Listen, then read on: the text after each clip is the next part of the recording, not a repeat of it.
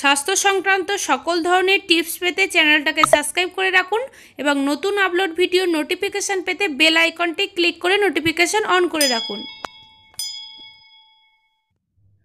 বাজার থেকে আনা কাঁচা শাকসবজি ও ফলমূল করোনা ভাইরাস মুক্ত রাখতে কি করা উচিত?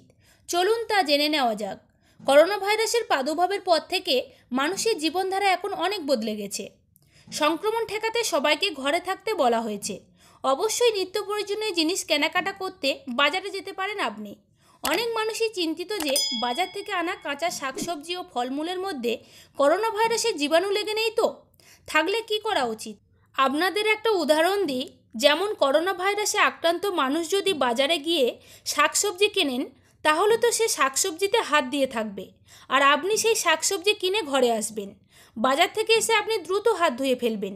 কিন্তু আপনি কাঁচা শাকসবজি ও ফলমূল খাওয়ার ক্ষেত্রে এমনটা করলেন না। আর এভাবেই নিজের অজান্তে এইসব ভুলের জন্য করোনা ভাইরাস সহ বিভিন্ন রোগে ঝুঁকিতে পড়ে গেলেন।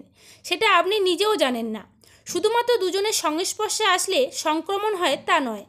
ঠিকভাবে বাজার থেকে আনা কাঁচা শাকসবজি ও ফলমূল ধোয়া না হলেও সেই সব থেকে করোনা ভাইরাসে আক্রান্ত হওয়ার সম্ভাবনা রয়েছে অনেক। তাই বিশেষজ্ঞরা বলছেন, বাজার থেকে আনা কাঁচা শাকসবজি ও ফলমূল সাথে সাথে নর্মাল জল দিয়ে ভালো করে ধুয়ে ফেলুন। তারপর ফ্রিজে রাখার হলে রাখুন। আর যদি দুধের প্যাকেট বা প্লাস্টিক জাতীয় কোনো দ্রব্য এনে থাকেন, তাহলে হ্যান্ড ওয়াশ বা সাবান দিয়ে ধুয়ে ফেলুন। আসুন আমরা সবাই সচেতন হই। করোনা ভাইরাসে কত লোক মৃত্যুবরণ করছে?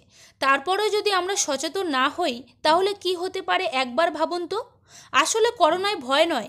এটাতে সচেতন থাকলে আমরা এই রোগ থেকে সহজেই মুক্তি পাবো সবাই।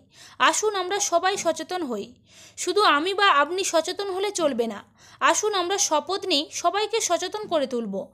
তো বন্ধুরা, এই ভিডিওটি সবাইকে শেয়ার করে সচেতন করুন।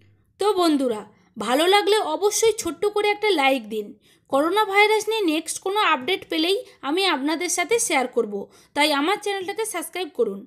বেল আইকনটি ক্লিক করে নোটিফিকেশন অন করে রাখুন। কোনো গুজবে কান দেবেন না। সরকারের আইন মেনে চলুন।